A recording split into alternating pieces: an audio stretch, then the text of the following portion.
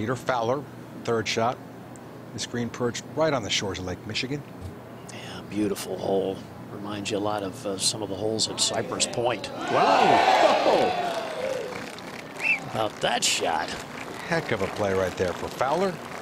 Had a lot of success on the European Senior Tour as Peter Fowler.